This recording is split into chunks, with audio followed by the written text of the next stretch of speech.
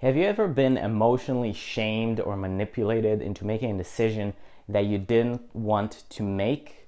Maybe make a sale, uh, buy something you didn't want to buy, maybe make a decision you didn't want to make, or maybe make not make a decision that you actually wanted to make. Anyway, if you have these kinds of regrets because people emotionally manipulate you or shame you into doing or not doing certain things, in this video I'll show you how to never ever have that happen to you again forever. So I'll start off by telling a story that actually, a true story that happened to me when I was 18. I was in Hamburg in, in Germany and I was in a street called Reeperbahn, which is sort of like the red lights district of Germany, kind of a big street filled with strip shows, uh, uh, brothels, cool restaurants, and shows. And I was walking along in that street. I was on tour then, and I saw this kind of strip club place, and I really wasn't very interested in going in. But so I kind of went along. But then the guy at the entrance, the doorman, kind of told me like, "Hey, dude, look, uh, come come inside." And I was like, "No, no, thank you. No, I'm I'm good. I don't want to spend any money there. I don't want to do anything. It's fine." And then he tells me uh, look, it's completely fine. Uh, you can just sit down. Uh, you can just look at the girls, have a drink. If you don't want to pay for anything, that's completely fine. So I was like, okay, you know what the hell? Why not? And then I go into that place, and then I sit down on the sofa, and the girl comes up to me, starts talking to me, and she's very flirty, very nice, you know, very. She kind of tries to create chemistry between us and I'm like, okay, that's cool. And then she offers me a private lap dance in the back. So I told her, look, look, I'm not, I'm not about that. I don't want to do this. Sorry, it's fine. And she says, no, no, it's it's free. It's on me. I think you're an awesome guy. I just want to give you this gift. And again, I was 18, kind of stupid, but I believed her. I was like, oh yeah, makes sense. You know, of course, I'm an awesome guy. Of course, you want to give me a free lap dance. So she takes me to the back, and it's like a big round room. And I sit down with her, and then maybe 10 seconds later, this other black girl's black girl comes in with a tray and a, a bottle on it of wine. And she asks me if I want some wine, and I said no. And then what she does, she gives wine to she she pours wine to herself and to her friend, and they start drinking wine, and we kind of have fun, talk a bit, and suddenly things get a bit sexual, and I'm kind of weirded out because I haven't paid anything. This doesn't make any sort of sense. So I asked them like, "Hey, girls, is any of this uh, cost me money? Like, does any of this cost money?" They ignored me, and then I asked again, "Look, does any of this cost me money?" They ignored me again. So I just stood up. I was like, "Look, do I need to pay for anything that's happening here? And the girls basically said, yeah, of course you need to pay for the wine. It's uh, 12,000, 1,200 uh, euros. And I was like, look, girls, I'm originally from Israel. We don't do that shit. Like this, maybe maybe this works on Europeans, but you haven't met any Israelis probably. This, this won't work. Sorry. So then the girl says, "Oh, look, you're gonna have we're gonna have a problem then," and she goes out and gets this manager girl that comes in with a six foot five monster Hulk guy, super scary guy, and they both enter the room, and now there's four of them, and they tell me, "Look, you have to pay," and I go, "No, I don't." I didn't order the drink. I don't drink alcohol. You wouldn't find one drop of alcohol in me for the last more than six months. Uh, so sorry, I'm not paying anything. And then the tough guy came, you know, Mr. Frankenstein, and he's like, "Look, dude, you better fucking pay right now, or there's gonna be trouble. You know, it's gonna end very bad for you." Of course, I was, I was really scared because I thought he's gonna beat the shit out of me and we kind of went back and forth and i basically kept stating the truth and just saying the facts of the situation look i came in here they told me it was free nobody said i need to pay for anything they actually explicitly told me i don't need to pay for anything I didn't ask for a bottle. She told me I can go in the back with her for free. I didn't drink. Not you can't charge me for anything. And they're like, "No, but here's the bill." I'm like, "Yeah, but I didn't ask for anything." She said it was free. There's no reason I should pay for anything. And then he says, "Yeah, but the girls drank." Yeah, but I didn't order the drinks. I didn't ask for anything. And then this goes on and for a while, and they try kind of all sorts of uh, scare tactics, intimidation. So finally, I simply ask them, like, "Hey, look, uh, if I don't pay, are you going to beat me up?" And the the guy just says, "Look, uh, there's a police station three minutes from here, and if you don't pay, we're gonna get the cops, and then you're gonna go to jail."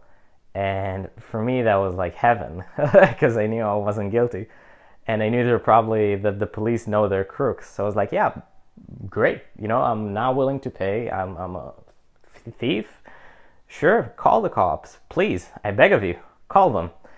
And basically, they started losing leverage, and eventually, I I just realized they they're not going to do anything, and that they don't have any leverage on me. I just got up, started walking away, and then the manager ran to me. He's like, no, no, no, okay, at least pay for the girls. I was like, no, sorry, not gonna pay for shit. Got out of there, took a cab, split off. Now the story is a, a lot more. Um, I, I, talk about it a lot more in my new book, the one I'm writing right now. But th- that's basically the gist of it.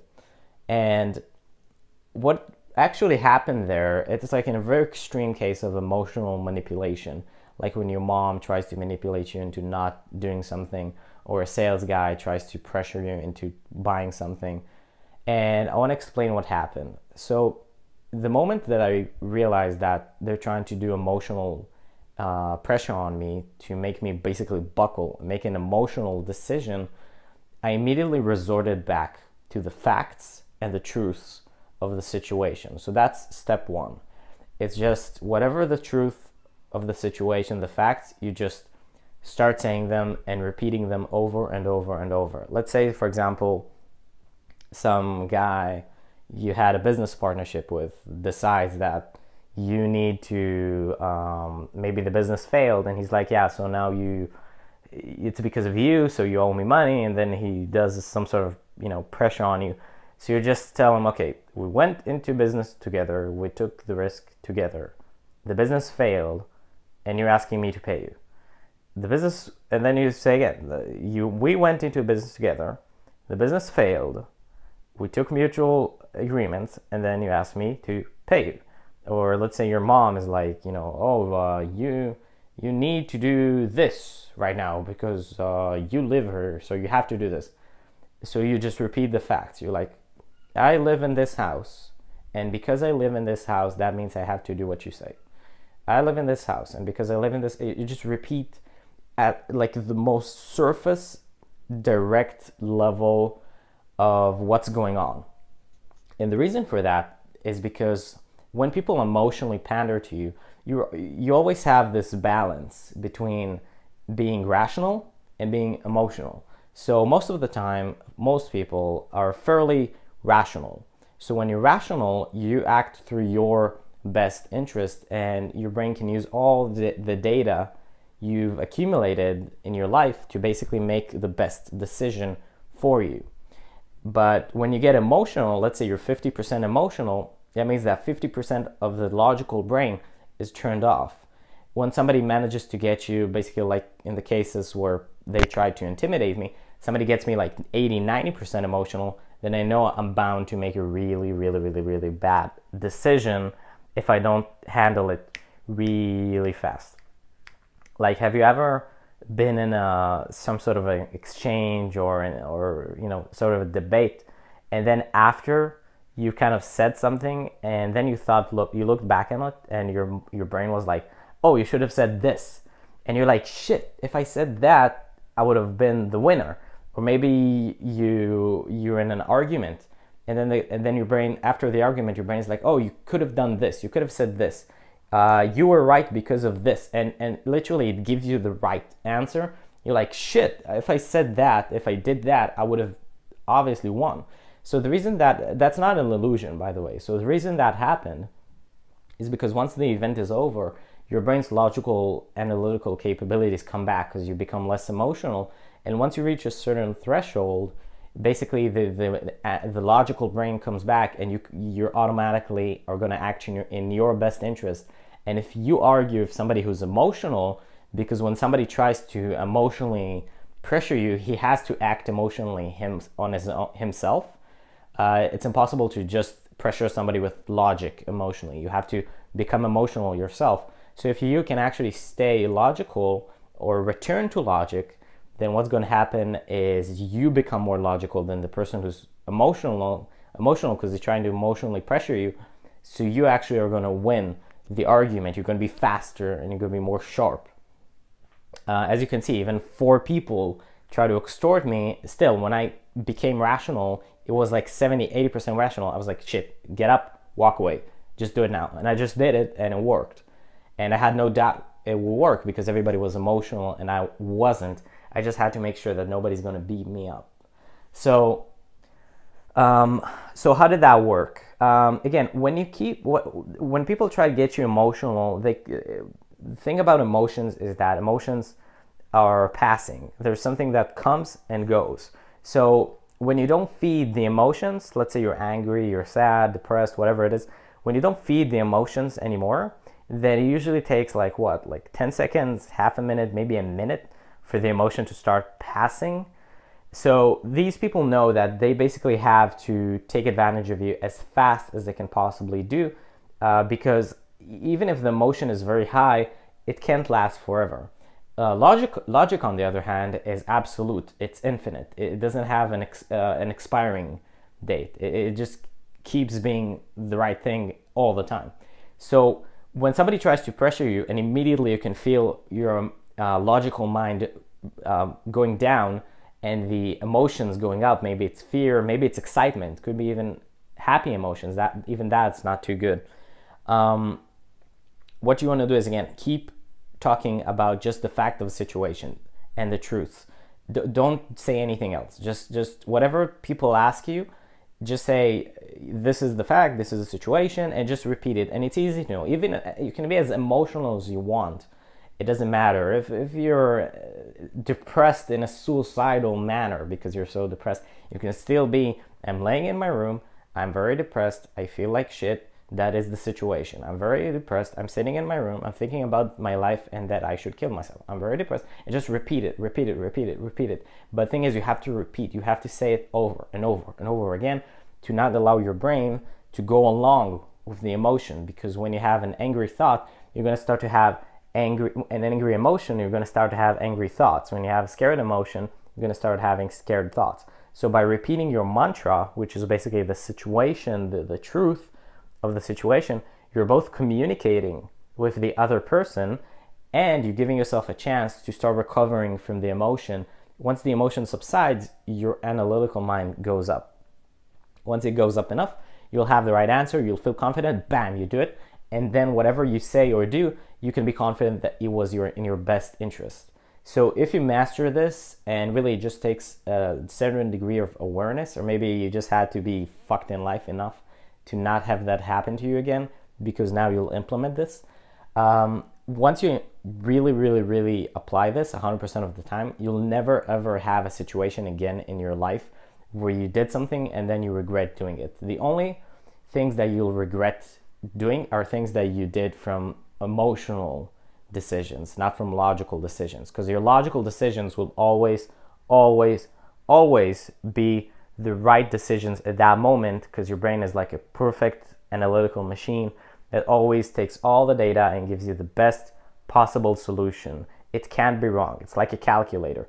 But if you feed it with wrong data because you're emotional, then you you can't blame the calculator uh, it, it's basically like doing 1 plus 8 but holding down another number then you get like a weird result and that way people take advantage of you so just to summarize three things you should always always remember first thing is that when you get emotional when you start getting very very excited in the up zone or when you get in the in the scared down zones like like sad angry uh, uh, maybe uh, scared anxious never make decisions in these emotional zones because you're probably gonna regret them, no matter how good they look or how uh, scared you are and hopeless you are. Always uh, wait for the logic to come back, and you do that by repeating the truths of the situation. Just, the truths and the facts. That's it. Just repeat it like a mantra over and over again, either to the person or to you, or even if you're alone, just talk to yourself. It's it's it's the best thing you can do. And within a minute or two, you're gonna be logical again, at least logical enough to make a decision that's you know that's gonna be in your best interest. Um, second thing is that you never again never ever make a decision when you're not uh, uh, rational. Second thing is that you need to remember that other people don't necessarily have your best interest in mind. Remember that even somebody like your mom uh, doesn't necessarily want uh, the best for you. She wants the best uh, for you, but but through her values. So what she values, you don't necessarily value. So there's going to be a conflict. So if you listen to her, you might take advice from her, but if you listen to her and just do what she says, then you, you're basically almost guaranteed to get the, the wrong kind of decision. Even your best friend often doesn't know to 100% what your values are at any given moment. So don't um, don't let other people make decisions for you from an emotional standpoint ever, because again, they have their interest in mind. I'm not saying they're selfish. I'm not saying try to take advantage of you. I'm just saying they don't look at the world with the same data you have, because obviously you know yourself best, better than anybody else. Finally, always remember that the facts and truths of the situation are your, are your anchors. Facts and truths will always, always, always beat emotions because the truth and facts are absolute, logic is absolute, while emotions quickly come and go. So if you can stick in there and basically anchor yourself to the ground within the whole emotional storm by using the facts and the truths, you're guaranteed, guaranteed, 100% guaranteed to uh, to win. Because if you don't make a decision until you get rational, which you have to get rational if you anchor yourself, then you will always win. And if it's a time sensitive decision, oh, you have to decide right now, or or you know, where the opportunity is going to go, fuck it. I don't want that opportunity. There's not a single opportunity in this life that's time sensitive where you know you have a very limited amount of time to make a decision where you won't end up regretting it and if you do win it's just going to be luck which luck is very bad in this world luck luck is shit because luck makes you feel entitled makes you think like oh this is because of me i'm special i make good decisions and, and then anyway you're gonna lose it later so i hope this helps you um, basically this is my philosophy for never ever getting emotionally manipulated. It works perfectly. And this is just one of the many, many stories that I talk about in my book that I'm actually writing right now. I think I'll be done by the end of the month. Uh, the book is about my life journey and so far, and all the things I went through in this life and what happened to me, you know, the various different lessons I learned. And I think it's going to be an amazing read for you and you're going to love it. Uh, but for now, I hope you just enjoy this video. Keep watching. I have three more videos to go today. And keep being awesome.